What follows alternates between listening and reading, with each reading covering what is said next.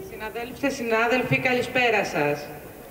Σας καλωσορίζουμε στον περιβάλλοντα χώρο του σωματείου μας, του Συλλόγου Εμποροπαλλήλων Αθήνας, που του χρόνου συμπληρώνει 130 χρόνια ζωής και δράσης. Το σωματείο μας, όλο αυτό το διάστημα και σε αυτές τις πρωτόγνωρες συνθήκες για το λαό μας, αλλά και για τους λαούς όλου του κόσμου, είναι από την πρώτη στιγμή μπροστά με διεκδικητική αγωνιστική δράση προσπαθώντας να προστατεύσει την υγεία των εργαζομένων του κλάδου από την πανδημία αλλά και από την ισχυρή αντεργατική λέλαπα που συνοδεύει όλα τα επίπεδα της ζωής μας. Οι εμποροϊπάλληλοι, οι εργαζόμενοι στα σούπερ μάρκετ, στις αποθήκες, είναι ένα τμήμα εργαζομένων που από το πρώτο κύμα της πανδημίας βρέθηκαν στην πρώτη γραμμή χειροκροτήθηκαν ως ήρωες ψεύτικα και υποκριτικά από αρκετούς. Όμως, από τη συντριπτική πλειοψηφία του λαού μας εκφράστηκε η γνήσια ειλικρινής αναγνώριση, η πραγματική αλληλεγγύη μέσα στις δύσκολες συνθήκες της πανδημίας. Όλο αυτό το διάστημα είμαστε μπροστά για την προστασία της υγείας των συναδέλφων μας. Διεκδικούμε μέτρα στην υγεία στήριξη του δημοσίου συστήματος με προσλήψεις γιατρών, νοσηλευτών, με ανανέωση του τεχνικού εξοπλισμού, με επίταξη των ιδιωτικών κλινικών. Παράλληλα, προσπαθούμε να είμαστε παντού, όπου προκύπτουν κρούσματα σε χώρους δουλειάς, διεκδικώντας μέτρα προστασίας και υγιεινής, δωρεάν τεστ για τους συναδέλφους μας. Το σωματείο μας, μαζί με άλλες πρωτοβάθμιες και δευτεροβάθμιες συνδικαλιστικές οργανώσεις, βρισκόμαστε παράλληλα στην πρώτη γραμμή του αγώνα για να αντιμετωπίσουμε τα συνοδευτικά μέτρα που με αφορμή την πανδημία ήρθανε για να μείνουν και είναι βαριά και ασήκωτα για τη ζωή των εργαζομένων. Είναι μέτρα που ήδη υπήρχαν στο πρόγραμμα της κυβέρνησης και σήμερα έρχονται εσπευμένα στη ζωή μας με συνεχή νομοσχέδια, με πράξεις νομοθετικού περιεχομένου, ξυλώνοντας εκατοστό-εκατοστό τα εργατικά δικαιώματα. Ιδιαίτερα στον κλάδο μας έχουμε να αντιμετωπίσουμε το γενικευμένο καθεστώς των αναστολών συμβάσεων, το πρόγραμμα συνεργασίας που διαλύει μισθούς και συλλογικές συμβάσεις, την πλήρη επέκταση της ευελιξίας, την εντατικοποίηση της εργασίας που είναι κυρίαρχα. Όλα τα παραπάνω, μαζί με τις συνολικές παρεμβάσεις της κυβέρνησης που επηρεάζουν τη ζωή μας και το λαϊκό εισόδημα, όπως είναι το τα προγράμματα εργασίας με μισθούς 200 ευρώ, η φορολογία, οι πληστηριασμοί, το συνεχές χτύπημα των ασφαλιστικών μας δικαιωμάτων, προκαλούν βαριά πλήγματα στη ζωή της εργατικής λαϊκής οικογένειας.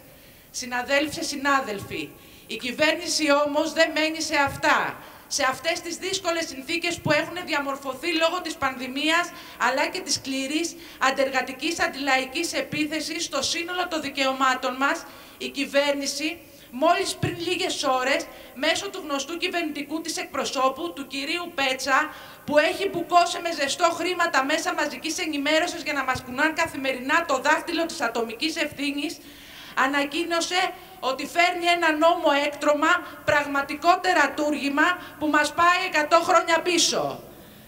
Και πολύ πιο συγκεκριμένα, 134 χρόνια μετά την εξέγερση των εργατών του Σικάγο, που χύθηκε αίμα, το αίμα τους για το οχτάρο, φέρνει νόμο που κατοχυρώνει τη δεκάωρη απασχόληση.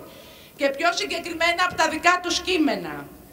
Κάτω από συγκεκριμένες προϋποθέσεις, επιχειρήσεις θα μπορούν να απασχολούν τους εργαζόμενους ως 10 ώρες ημερησίως, κατά το μέγιστο, χωρίς πρόσθετη αμοιβή, ε, εφόσον εντός του ίδιου εξαμήνου εξοφλούν τις, υπερορι... εξοφλούν τις ώρες με ρεπό και άδειες, ε, ημέρες αδείας. Δηλαδή σε βάθος εξαμήνου οι εργαζόμενοι θα δουλεύουν 10 ώρα και 10 ώρα για να πάρουν μετά από 5,5 μήνες πέντε μέρες άδεια ή ρεπό ή όπως ισοφαρίσουν ε, τα 11 ώρα και τα 10 ώρα που θα δουλεύουν.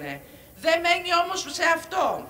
Για να μπορέσει να υλοποιήσει ε, αυτή την αγριότητα, επαναφέρει την απαγόρευση της απεργίας στο δημόσιο το, και στο ΣΟΤΑ, δηλαδή κάτω, ε, κάτω από αυτό που ίσχυε, αυτό που ίσχυε δηλαδή επί δικτακτορίας με τον νόμο Λάσκαρη και συγκεκριμένα από τα κείμενά τους στην προειδοποίηση για απεργία θα πρέπει να αναφέρονται εκτός από τα αιτήματα, οι λόγοι κτλ. Ε, είναι κρίσιμο, λέει, για το κοινωνικό σύνολο, στο δημόσιο, στο ΣΟΤΑ και στα νομικά πρόσωπα δημοσίου δικαίου να ορίζεται σε, τουλάχιστον το 40% σε προσωπικό ασφαλείας για τις ε, απεργίες. Τρίτον, τρίτον, μείωση των υπάρχοντων ονομαστικών μισθών και καθορίζει ως ανώτατο κριτή τον ΟΜΕΔ που θα επιλύει τα πάντα. Και τέταρτον, ε, νομοθετεί την ανοιχτή δίωξη της συνδικαλιστικής δράσης με το πλήρες φακέλωμα μέσω του συστήματος Εργάνη.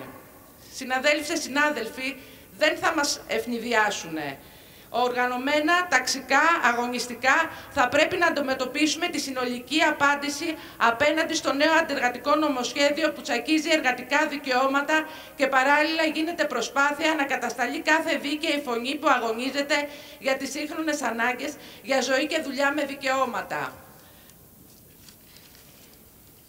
Συγγνώμη.